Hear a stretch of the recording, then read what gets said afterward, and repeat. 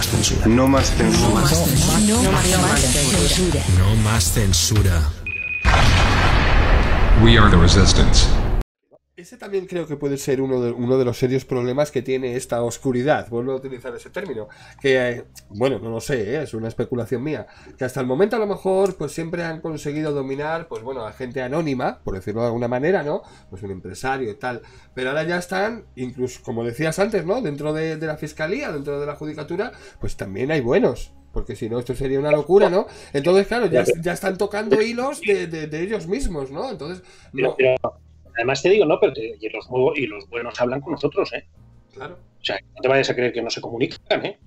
O sea, nosotros tenemos clara conciencia de, de- de quiénes son los buenos y quiénes son los, y quiénes no son los buenos. Cada vez hay menos, o sea, verás, yo te decía antes que esto, eh, o sea, yo creo que hasta ahora ha sido, o ha, o ha tenido, más que ser, pues yo creo que no lo ha sido nunca, pero ha tenido la, la- ha- han tenido la, la impresión de que estaban, de que ellos tenían un muro de hormigón fuerte e irrompible. Una, una, una inmunidad total, sí. Sí, y yo soy de la teoría de que es un muro de arena. Y lo único que hay que hacer es saber arrancar bien de abajo la arena para que se caiga el, mundo, es el muro entero.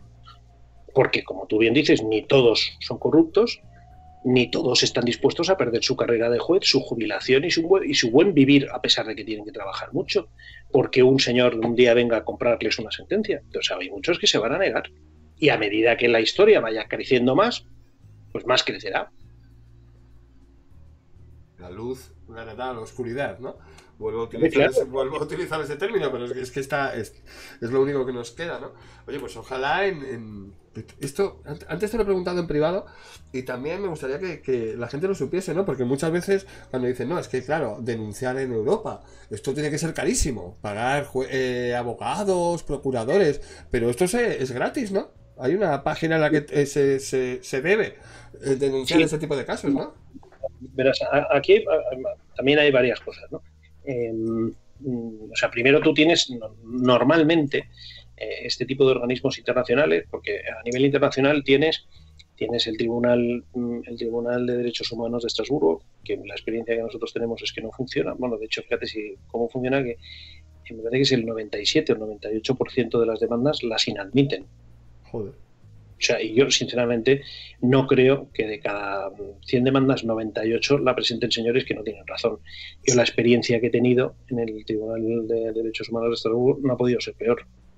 O sea, yo llegué a recusar un juez y a la sentencia siguiente me la firmó el juez que había recusado. O sea, no, no, o sea, yo no presenté la recusación, perdona, no fue la- el término exacto que yo utilicé fue, yo presenté un- un- un- un- una petición de incompatibilidad objetiva, que es algo parecido a recusación, incompatibilidad objetiva contra este juez, porque había inadmitido la, demanda anterior diciendo cosas que no eran verdad. Y la siguiente, la siguiente me la volvió a firmar el juez y volvió a decir cosas que no eran verdad. O sea, este es el Tribunal de Derechos Humanos de Estrasburgo. Luego tienes, el, luego tienes la Comisión Europea, el Parlamento Europeo y el, eh, y el, eh, y el Tribunal de Justicia de la Unión Europea, porque aquí hay una cosa muy curiosa. El Tribunal de Derechos Humanos, el Tribunal Europeo de Derechos Humanos de Estrasburgo no es europeo. Es cachondo. Pero no está dentro de la Unión Europea. O sea, físicamente está instalado en Estrasburgo, que es Francia, eh, y por lo tanto le llaman el Tribunal Europeo de Derechos Humanos, pero no es un tribunal que pertenezca a los organismos europeos, es independiente y donde están suscritos 120 o 130 países y por lo tanto atiende a todos esos 100 o 130 países. Luego, dentro de la Unión Europea tenemos el Tribunal de Justicia de la Unión Europea, que es la sede del Poder Judicial Europeo, tenemos el Parlamento Europeo, que es la sede del Poder Ejecutivo, del Poder Legislativo, y luego tenemos la Comisión Europea, que es la sede del Poder Ejecutivo. A cada uno de esos, cada uno de esos tiene sus páginas web donde tú puedes presentar denuncias como ciudadano y, no necesitas un abogado, eso es gratis. No es recomendable presentar una denuncia en el Tribunal de Justicia Europeo porque es prácticamente imposible que a un ciudadano le tomen una denuncia. Entonces puedes presentar denuncias ante el, ante el Parlamento Europeo, entonces tienes que esperar a que después vote el Parlamento Europeo eh, la conveniencia o no de las denuncias que has presentado y también ante la Comisión Europea. Pero mira, en el caso de la justicia, por ejemplo, es una cosa que, desconoce mucha gente. Resulta que la, justicia es una competencia, lo que se llama una competencia compartida. Con la Unión Europea. Para que te hagas una idea, la pesca es una competencia de la Unión Europea. El gobierno español no puede decir nada sobre la pesca porque quien manda sobre la pesca en Europa es la Unión Europea. Y como esa, como esa competencia de la pesca, que es 100% de la Unión Europea, pues hay otras, y hay otras que están compartidas. En el caso de la justicia está compartida. O sea, digamos que la comparte la Unión Europea con cada país miembro. Pero mm, a cada país miembro lo que le deja la Unión Europea es única y exclusivamente la organización de la justicia. O sea, la Organización de la Justicia, y esto es una sentencia muy reciente del Tribunal de Justicia Europeo de hace unos meses, que está publicada, la tiene publicada también en la web de, Tortura Corrupción, la web de la asociación. Em, entonces, la organización de la justicia es el nombramiento de los jueces, el sostenimiento de los juzgados, pagar la luz, los sueldos y tal. Eso es la competencia de los países.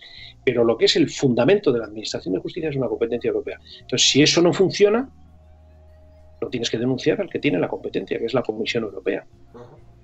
Con lo cual, tiene todo el sentido que denuncies ante la Comisión Europea, denuncies a España por el incumplimiento de sus obligaciones. Y si la Comisión Europea tampoco cumple después sus obligaciones, pues habrá que denunciar a, a la Comisión Europea. Tú imagínate la gracia que le va a hacer a los funcionarios franceses, belgas, holandeses, que tú les denuncies porque los jueces españoles o porque determinados jueces españoles están saltando la ley gracia cero, ninguna, como te puedes imaginar.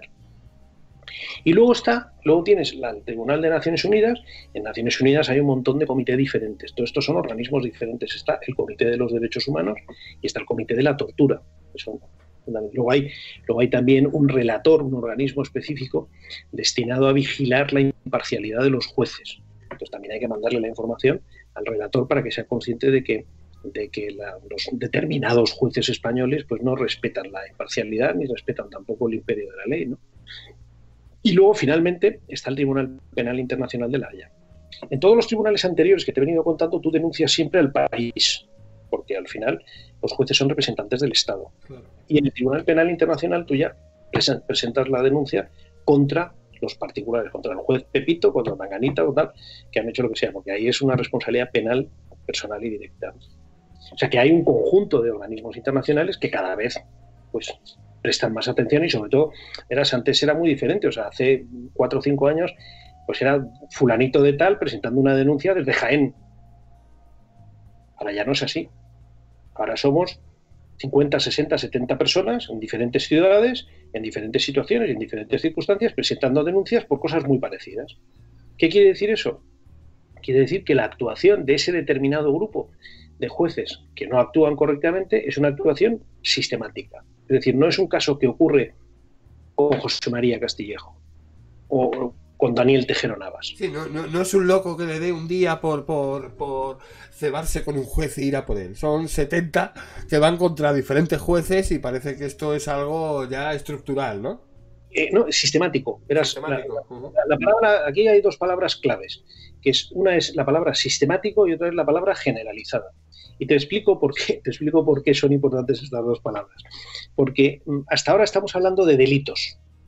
Eh, y los delitos prescriben al cabo de un tiempo. Hay unos delitos que prescriben a los cuatro años, hay otros delitos que prescriben a los cinco y hay otros que prescriben a los diez, depende, ¿no? Cada delito tiene un tiempo de prescripción. Excepto los delitos de lesa humanidad. Lesa humanidad son aquellos que atacan a la humanidad. Y que atacan a la humanidad no quiere decir a la humanidad en general, sino al conjunto de individuos que formamos la humanidad. Y el conjunto de individuos de Toledo, o de no sé qué decirte, o de, Guadalajara, o de Getafe. Pero que tampoco tiene que ser pueblos, o sea, porque hay un conjunto de población que está siendo atacada por unas determinadas personas, eso es la humanidad. Ahí se entiende la humanidad. Entonces, los delitos de lesa humanidad, que ellos son los que se ataca a un determinado conjunto de población, esos no, prescriben. ¿Y qué, tiene, ¿Y qué tiene que ocurrir para que un delito sea de lesa humanidad? Tiene que ocurrir que se produzca de manera sistemática o generalizada. No necesita que sean las dos cosas. O sistemática o generalizada, y si es las dos, pues con más razón. Entonces, en el caso de, jueces actuando en diferentes juzgados, saltándose la ley, en Guadalajara, en, Barcelona, en, Toledo, en Madrid, no sé qué, es sistemático. O sea, es un error del sistema, no es un juez que siempre lo hace mal, ni dos jueces que siempre lo hacen mal. es una cosa sistemática. Y verás qué pasa. Cuando eso ocurre, el delito deja de llamarse delito y se llama crimen. Y esos crímenes, como te digo, no prescriben. Entonces tú te puedes escapar durante cinco años, o durante siete, o durante quince, o durante veinticinco. Lo que les estaba pasando a los nazis, estos que los están trincando todavía los que siguen vivos.